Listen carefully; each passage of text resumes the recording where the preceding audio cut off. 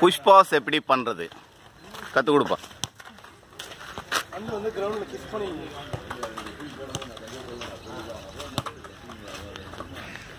நல்லா நிறுத்துப்பா.